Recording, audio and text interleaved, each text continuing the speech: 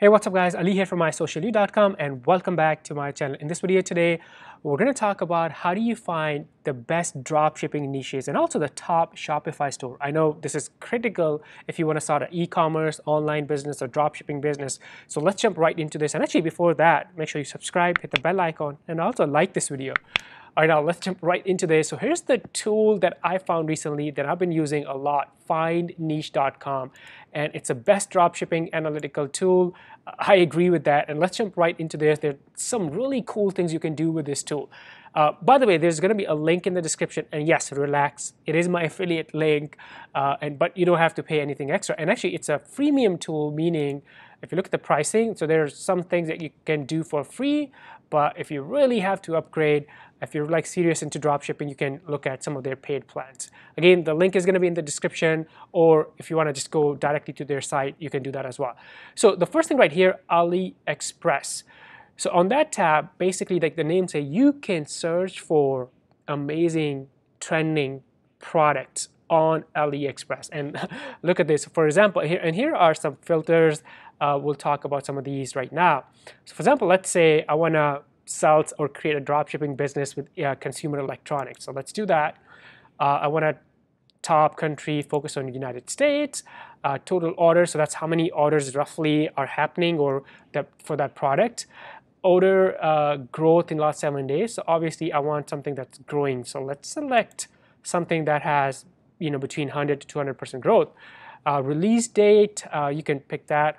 And also uh, sold on Shopify, so I want to see what's been selling on Shopify. Uh, and also maybe they, they, accept PayPal. So it looks like no data for PayPal, but look at this. So you can play with some of these filters right here. And look at this. So here are different recommendations. Ooh, this is amazing. I know like the smart watches, especially in the holiday season, uh, they do really, really well. So if you want to create a store uh, in consumer electronics, this could be interesting. Um, so here you go. And then you can see the trend and also the, the price. And here is the order uh, history and see how it's trending right now. That's awesome. And also what's the profit margin? $36, that's awesome. And then also the top countries this product has been selling into. So, so cool. This is amazing. And then also you can see uh, the number of orders in the last three days, so you can also filter or sort by that. So now I'm looking at this video game. This had the most order in last three days. That's amazing. A number of order in last seven days, 14 days, and 13 days. And you can look at, uh, if you can click in there, and then here's another smartwatch. Uh, and you see that's the price, but look at the profit margin. Oh, look at that. That's awesome. It's amazing. Uh, and you can also, uh, instead of uh, doing these right here, I can also just search by, so let's say I want to sell watches.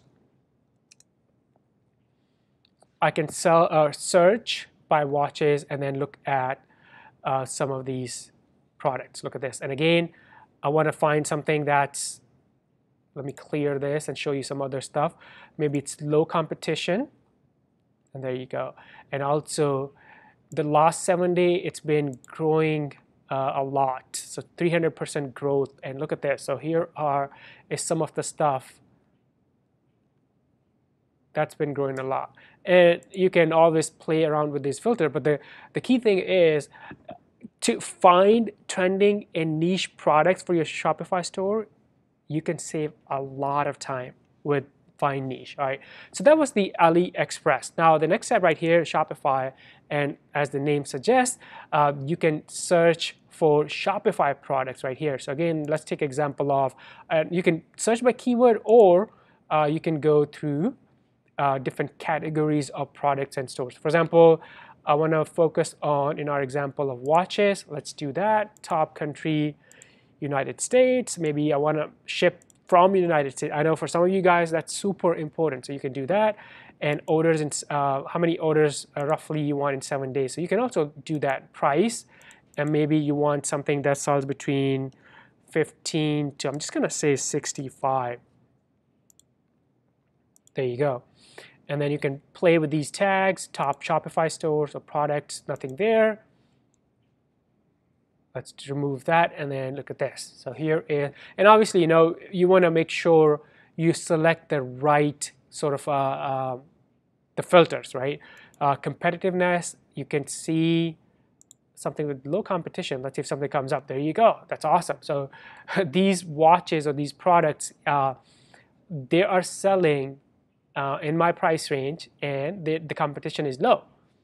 And you can kind of like, again, here's the, the seven day profit, uh, 30 day profit, uh, and actually the uh, 30 day orders and also 30 day profits. That's awesome. And then I can click on this product right here and look at more details. Here's the, and by the way, if you want to see this on AliExpress, so you can click on this and it'll open, take you to the AliExpress tab, right? Uh, if you want to see this uh, being sold on Shopify, you can do that. So you say they're selling it for $39.95.